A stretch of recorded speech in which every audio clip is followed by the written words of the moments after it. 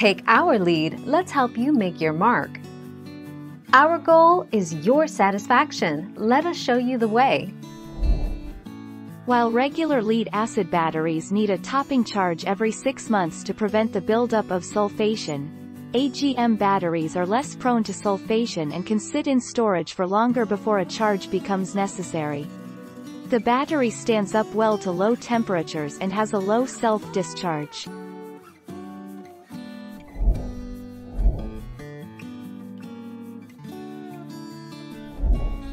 Take our lead.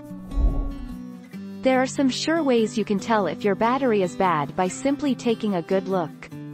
There are a few things to inspect, such as a broken terminal, bulge or bump in the case, crack or rupture of the case, excessive leaking, and discoloration.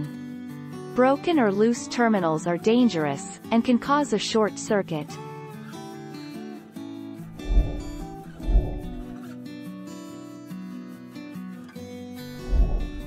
Take our lead.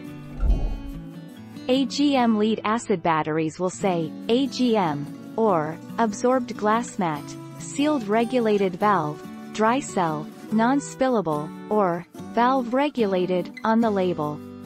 Look at the top of the battery.